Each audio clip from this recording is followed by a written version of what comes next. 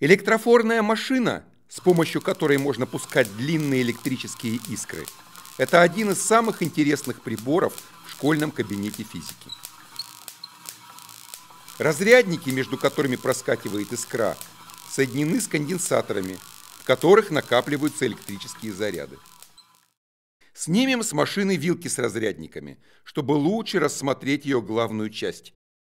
Два диска из оргстекла с нанесенными на них металлическими полосками и две пары щеток, которые обеспечивают замыкание между противоположными полосками на каждом диске. Диски вращаются в противоположные стороны.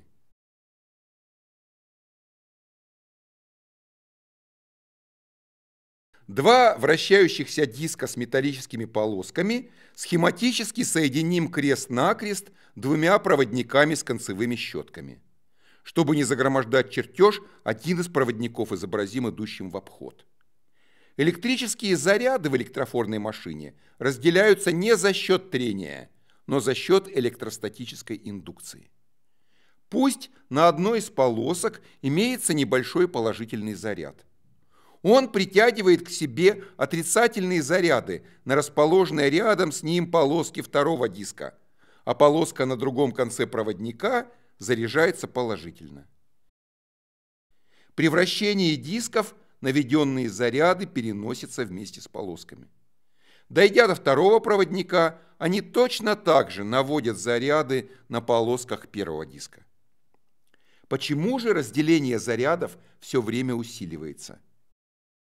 Дело в том, что если на первом диске одинаково заряжено несколько полосок подряд, то на полосках второго диска наведутся большие по величине заряды. Эти заряды наведут на первом диске еще большие заряды, и рост зарядов будет происходить в геометрической прогрессии. Заряд накапливается на полосках обоих дисков. Как же он поступает на конденсаторы? Ведь прямого контакта между вилками и полосками нет. Для этого нужны острия на вилках. Если напряжение между полоской и вилкой достаточно высокое, то на острие вспыхивает коронный разряд, и заряд с полосок стекает на вилки через воздух. Добавим на схему вилки и конденсаторы. Теперь здесь изображена полная конструкция электрофорной машины.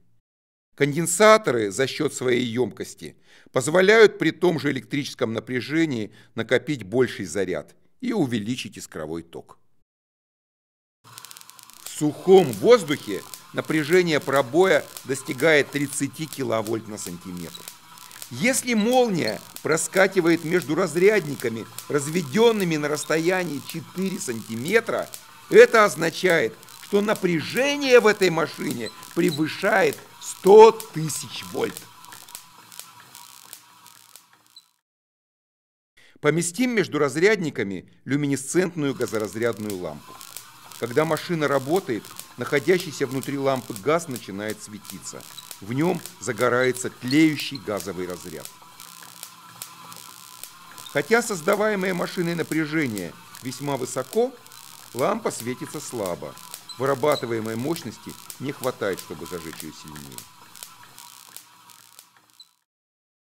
А вот вертушка, приводимая в движение за счет ионного ветра, от электрофорной машины вращается вполне успешно. Здесь большая мощность не нужна, и даже малые токи раскручивают ее до большой скорости.